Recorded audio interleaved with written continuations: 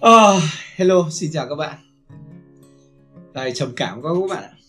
Uh, có nhiều bạn nhờ mình hỗ trợ uh, edit video, Filmora các thứ mở kênh của các bạn toàn đi. bốn năm trăm nghìn sub có bạn kênh gần triệu sub trong khi kênh của mình thì được có mười mấy nghìn. Trầm cảm thật. Cho nên nay hơn 70 tuổi mà chưa gặp cái trường hợp nào mà Ok, trong video này mình à, sẽ hướng dẫn các bạn à, cái à, công cụ công cụ cắt cảnh video tự động với Filmora 11 nhé. đây là công cụ cũng không phải là mới. Thế nhưng mà chắc là mình nghĩ là nhiều bạn sẽ không biết, nhiều bạn mới sử dụng sẽ không biết. Thì cái công cụ này nó rất là hữu dụng nhé. Nếu bạn có một cái video dài mà bạn có nhiều cảnh quay, nhiều góc quay ấy, mà bạn muốn chia nó ra thành những cái cảnh nhỏ để em làm gì để có thể xóa nó đi hoặc là sắp xếp lại như nào ấy. Thì à, các bạn sẽ sử dụng cái công cụ này. À, kể cả là những cái bạn mà kiểu tải video của người ta từ YouTube về mà các bạn muốn cắt nó ra cắt đúng cái đoạn mà bạn muốn thì uh, các bạn cũng có thể dùng công cụ này được. Nó gọi là công cụ cắt cảnh tự động hay còn gọi là scene detection. Ở trong phần mềm Filmora 11 uh, các bạn nhớ nếu mà muốn uh, dùng Filmora ấy, thì các bạn có thể tải à, link ở dưới phần mô tả. Và nếu như bạn muốn mua bản quyền thì mình có đặt thông tin mã giảm giá 20% của mình ở dưới mô tả. Và mình có mua hộ các bạn luôn đấy thì à, các bạn có thể thêm số Zalo các thứ.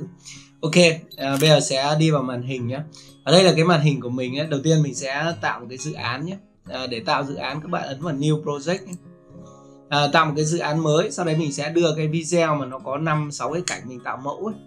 À, import nó vào. Ok trong phần này à, ví dụ phần này đây là cái video mình tạo thôi mình tạo ra ví dụ thôi. Cái này nó sẽ có 5 cảnh. À, mình kéo timeline cho các bạn xem nhé. À, ok để tắt tiếng rồi đi.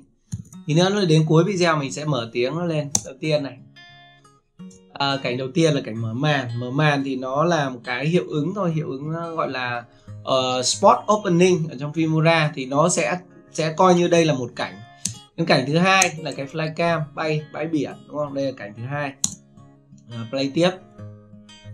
À, cảnh thứ ba là một cái rừng à, mùa thu lá vàng rơi đúng không? Đây là cảnh thứ ba. Ở cảnh thứ tư mình chèn vào một cái nền gọi là minh họa thôi.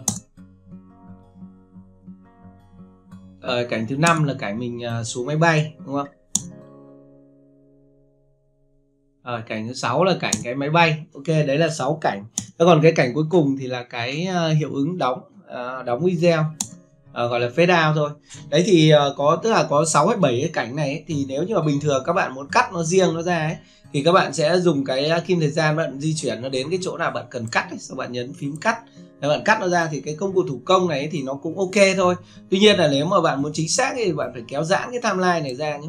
Tức là kích vào đây và kéo giãn cái timeline sau đấy căn từng frame một. Nếu mà các bạn nếu di chuyển khó các bạn có thể nhấn mũi tên bên trái phải này trái phải để để căn cái từng cái frame hình tức là từng cái khung hình ấy để các bạn không bị sót cái nào.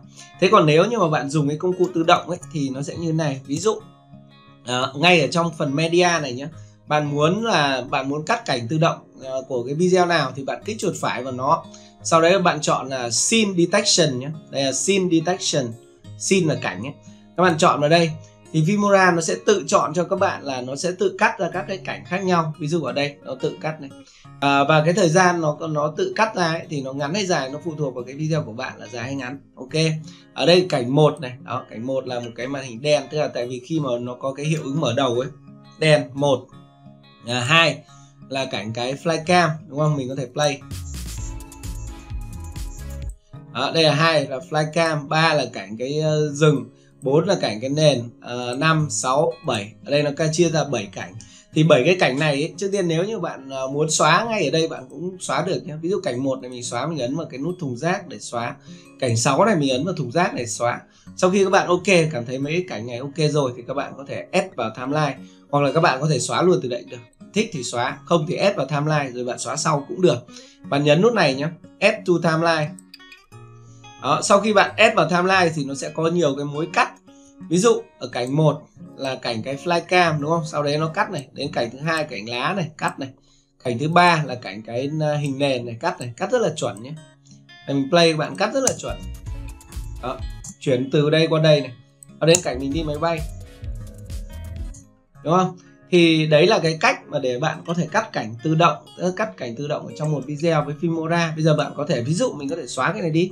À, xóa cái này đi để mình tắt cái auto ripple đi xóa cái này đi bỏ cái này luôn để cái này ở đằng cuối. À, sau đó ghép lại ghép lại thành một cái video hoàn chỉnh như này. Nhưng mà các bạn chú ý là khi mà ghép lại một cái video hoàn chỉnh như này ấy, thì cái cảnh người ta cắt nhưng mà cái nhạc ấy, thì nó cũng cắt theo. Đâm ra là bạn phải uh, bạn phải thêm cái nhạc khác nhé. Thêm cái nhạc khác để cho một cái ờ, video nó hoàn thiện chứ các bạn đừng giữ nguyên cái nhạc đấy. Nếu bạn giữ nguyên cái nhạc đấy thì nó sẽ kiểu nhạc nó nhảy nhảy nhảy nhảy lung tung ấy.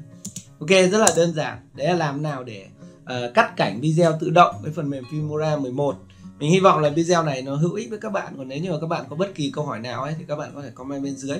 Mình sẽ làm à, video hướng dẫn các bạn. Ok. Xin chào và hẹn gặp lại các bạn ở những video lần sau. Goodbye.